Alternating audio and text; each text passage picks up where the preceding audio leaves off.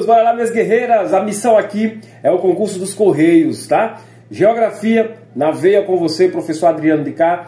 Vou convidar vocês hoje ao básico mesmo do básico da nossa disciplina. Vamos começar com o primeiro subtópico, aprendendo ali as projeções cartográficas.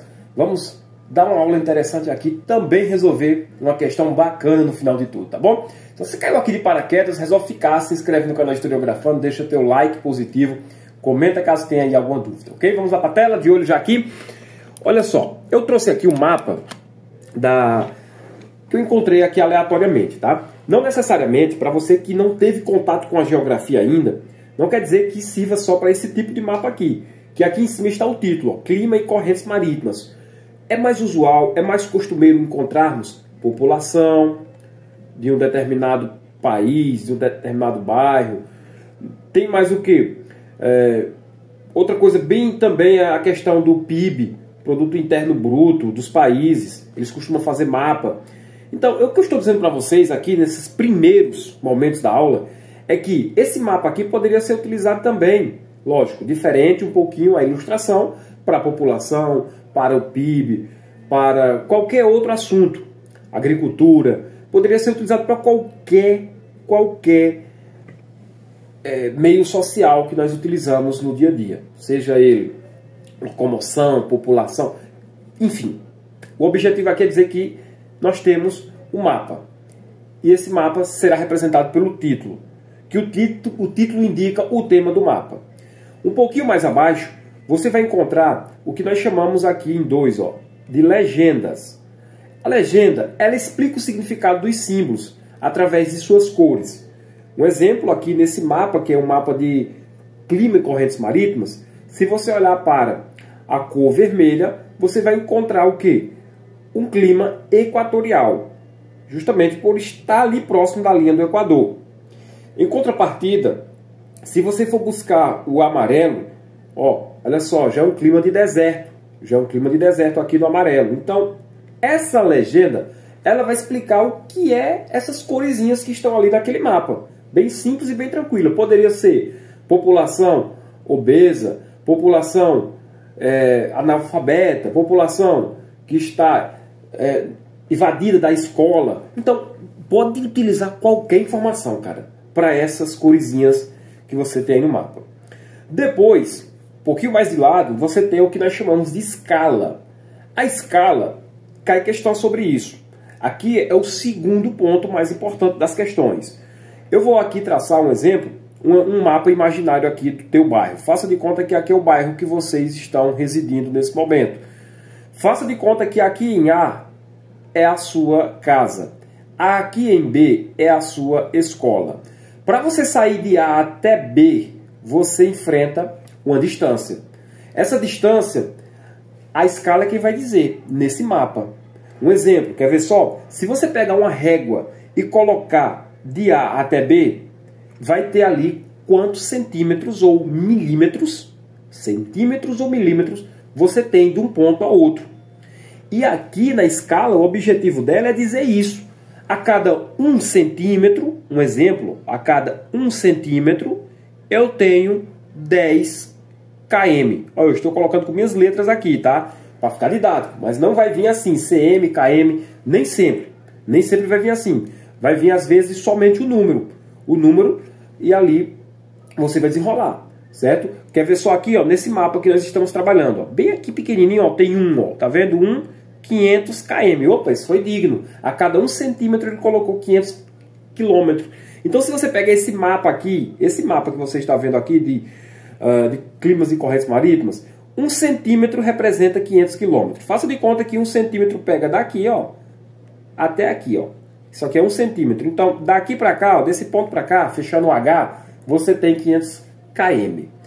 Entendidos aí? Então, nesse mapa aqui do bairro que eu imaginei de vocês, da escola até a casa, da casa até a escola, se vocês tivessem aqui 10 centímetros, ó, 10 centímetros, e, e de repente a legenda do teu mapa fizesse assim, ó, 1, 1, olha só, 1, 300. 1, 300. Então seria o quê? Um centímetro, um centímetro representa na realidade 300 metros de um ponto que você estiver traçando ali um centímetro ao fim dele. Então, se o mapa tem 10 centímetros, então vai ser 10 vezes 300, ou seja, nós teríamos o que? 3 mil metros ou 3 quilômetros de distância do ponto A ao ponto B nesse mapa de vocês aqui. Entendidos, pessoal? Então, finalizando, nós temos o que? A orientação. A orientação, ela indica o norte, geralmente por meio de uma rosa dos ventos ou de uma seta. No nosso caso aqui, ele representou através de uma seta, aqui, ó. A rosa dos ventos, eu vou tentar desenhar aqui a rosa dos ventos, não sou muito bom de desenho não, tá? É, ficou feio, mas é mais ou menos assim, ó. Norte, ela aponta para o norte, e aí, show de bola, tá bom? No, na outra ponta, ficou feio, né? Essa, essa, estrela aqui. E até errada, né? Não é bem assim, não. Essa estrela tá muito feia. Não sou bom de desenho, não. Mas é assim, gente, ó. Eu errei aqui, ó. Isso, agora sim. Norte, sul, leste, oeste. É mais ou menos assim, tá? A Rosa dos Ventos é representada. Eu tentei desenhar foi uma estrela ali embaixo, não deu certo. Não colou, não, né? E por último, nós temos a projeção de Robinson, que é a projeção que está sendo mostrada nesse mapa. Projeção, gente, cartográfica, ela indica o método utilizado para representar a esfera terrestre em um plano. Professor, não entendi nada. Pronto, vamos trabalhar agora sobre as projeções. Aqui nessa primeira página, o que mais é cobrado é as projeções cartográficas. Então, as questões desse assunto vão cobrar a projeção cartográficas. Depois, pessoal, Segundo lugar aqui, a escala. Cai questão sobre isso. Já vi muitas questões perguntando só para tu conhecer, só para tu conhecer o que é uma escala. Aqui eu tenho as projeções, ó. Três, cilíndrica, cônica e plana ou azimutal. Cada uma dessas, tá aqui o significado de cada uma. Tem uma representação, tem uma forma específica. Vamos ler rapidinho, ó. Projeção cilíndrica. É como se um cilindro envolvesse o globo terrestre. Nesse caso, os paralelos e os meridianos são representados por linhas retas que convergem entre si. Um exemplo notório é a representação do mapa mundi tal qual conhecemos. Então, aqui em 1 um, nós temos o que nós chamamos de projeção cilíndrica. É o famoso nosso mapa mundi. Se eu fosse vocês, para bisurar, decorar isso aqui mesmo, cara, só decorar, você só vai precisar isso aqui para prova, você pegava, se fosse você, eu pegava as palavras-chave. Quais são as palavras-chave desse ponto aqui? Ó? Os paralelos e os meridianos, ó, os paralelos e os meridianos são representados por linhas retas que convergem entre si. Pronto, estão aí as palavras-chave. Paralelos e os meridianos são representados por linhas retas que convergem entre si. Acabou, cara. São as palavras-chave. Depois eu vou para a projeção cônica. É como se um cone envolvesse parte do globo. É muito utilizado para representar regiões continentais. Nesse caso, paralelos representam círculos concêntricos. Palavra-chave, professor. Os paralelos são representados por círculos concêntricos. Já os meridianos são linhas retas que convergem para os polos. Aqui é o exemplo da projeção cônica. Palavra-chave fechada. Já estou em projeção plana ou azimutal. Trata-se de um plano tangente à esfera terrestre. Nesse caso, os paralelos representam círculos concêntricos. Já os meridianos retos irradiam-se do polo. Dependendo da representação pretendida, elas são classificadas em três maneiras: polar, equatorial e oblíqua. É a mais difícil, cara, para você. Palavra muito esquisita. Para quem não tem costume com isso aqui, pega as duas primeiras, acabou. A terceira é a projeção azimutal. Se você bisurar, como eu disse para vocês agora há pouco, as palavras-chave, os paralelos e os meridianos, são representados por linhas que se convergem entre si, pronto, eu sei que é a projeção cilíndrica. Se eu sei que os paralelos representam círculos concêntricos já os meridianos são linhas retas que convergem para os polos, é cônica. E a que sobrou é azimutal, ou plana. Tudo bem?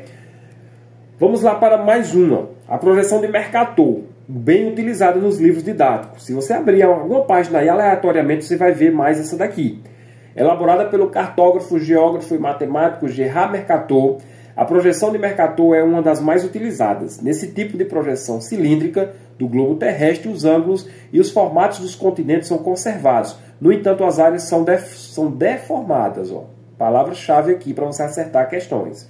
Esse modelo está incluído na categoria de proporção conformal, sendo muito utilizado na navegação aeronáutica. Está vendo isso aqui? Ó? Outra palavra-chave importante. Mais um, projeção de Petris. Foi elaborada pelo escocês James Gall e depois retomada pelo historiador alemão Arno Petri. Por esse motivo é também chamada de projeção Gauss-Petri. Trata-se de um tipo de projeção cilíndrica que conserva as proporções entre, entre as áreas. No entanto, os ângulos e formas dos continentes são alterados. Esse modelo está incluído na chamada proporção equivalente, ou seja, na equivalência do continente. Nesse formato aqui, ele vai dar o que? Prioridade ao que é maior, aos equivalentes. Quer ver só? Você pega o Brasil, como se ele estivesse esticando. Ó. Tá vendo a dimensão que você tem no Brasil? Você pega lá os Estados Unidos, olha a dimensão que ele toma. Agora os pequenos, como a Europa, é bem apagadinho. Ó. Se você fosse mirar, você ia mirar para acertar a Europa, ou o Brasil, ou o Canadá, os Estados Unidos, ou o continente africano. Lógico, é, os que estão mais visual. Então, por isso que ele dá uma equivalência maior a quem é maior nessa projeção. E finalizando, gente, ó, nós temos aqui a projeção de Robson. Ela foi elaborada pelo geógrafo e cartógrafo americano Arthur Robson. Esse tipo de projeção cilíndrica e afitálica altera as formas e as áreas dos continentes. Por isso ela está na categoria de não equivalente e não conforme. Tá vendo só? Nela os meridianos são as linhas curvas, enquanto os paralelos, as linhas retas, os paralelos as linhas retas, né? Atualmente esse modelo é o mais utilizado para representar o mapa mundi, sendo, portanto, a mais conhecida. Essa é a de Mercator, eu considero os mais conhecidos, né? Aqui, de cara, para finalizar, nós já temos uma questão. Olha só essa questão aqui que eu vou trazer para vocês comentada na íntegra. Ah, os conhecimentos sobre projeções cartográficas e uso de mapas possibilitam afirmar. Letra A. A projeção azimutal fornece uma visão eurocêntrica do mundo e por isso ela não é mais utilizada. Aqui está incorreta, tá, pessoal? Se você voltar, você vai ver lá a azimutal. E nós não falamos nada disso, de privilegiar uma visão eurocêntrica. Né? A projeção azimutal, ela não é necessariamente eurocêntrica. Ela pode, gente, ser centrada em qualquer ponto do globo terrestre, não se limitando à eurocêntrica não, viu? Importante. Ainda ela é amplamente utilizada em diversos contextos geográficos, como representação polar ou para fins militares. Por isso que isso aqui está errado. Vamos lá para a letra B. As distorções de representação nas projeções cilíndricas são maiores no Equador e menores no Polo. Mais uma questão incorreta, ó, incorreta. Vamos aqui corrigir ela para vocês, ó. Essas projeções cilíndricas, minha gente, como a de Mercator, que a gente viu lá, que eu citei agora há pouco para vocês, ela apresenta maiores distorções, sim, nas áreas próximas aos polos e menores distorções, como se pode dizer, perto do Equador.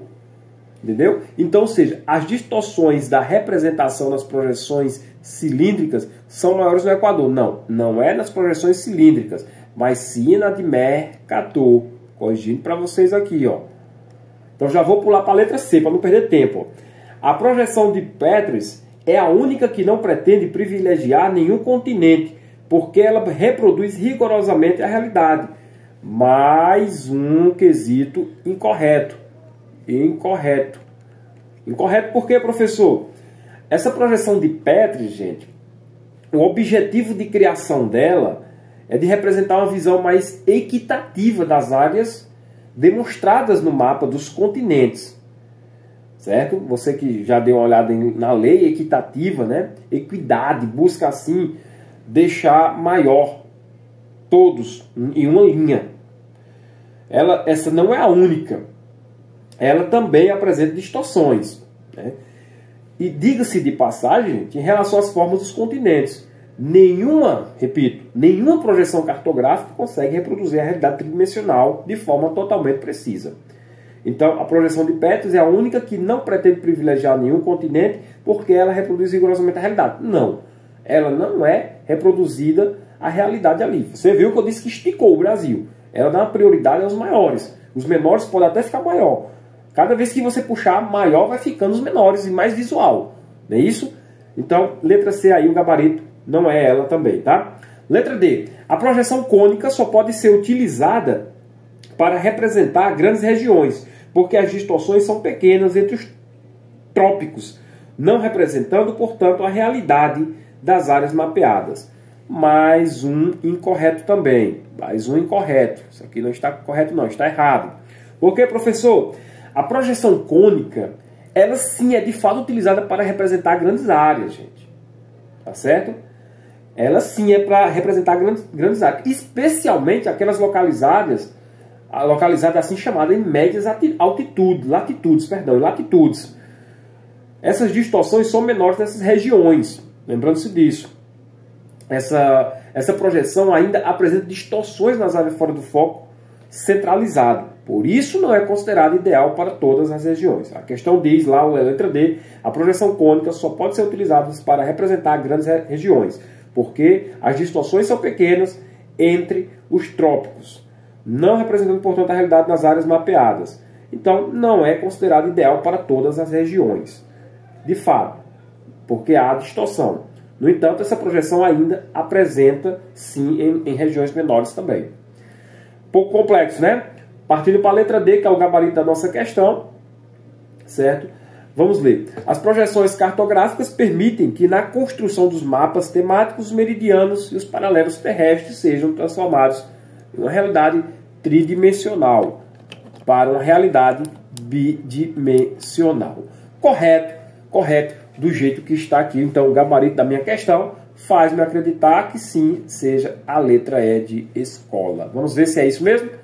Gabarito letra E de escola, tá? Então, é isso. 16 minutos aqui de puro conhecimento. Em breve trarei mais para vocês. Questões igual a estas. Visem, foquem, vejam que as questões mais cobram, o que elas exploram mais e parta para cima. Valeu, meu guerreiro. Até a próxima.